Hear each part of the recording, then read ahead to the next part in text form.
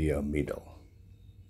Although you may desperately want to save your marriage for your own sake, it's time to face facts.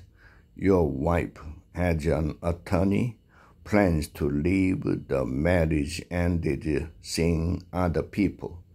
She's no longer interested in saving the marriage that you are in a program to help you overcome your addiction is laudable. But paramount now is that you do everything you can to heal yourself. It will make you a better father to your children if you are fully present. You may need professional counseling to help you through this painful period so you can map out a better future for you and the kids.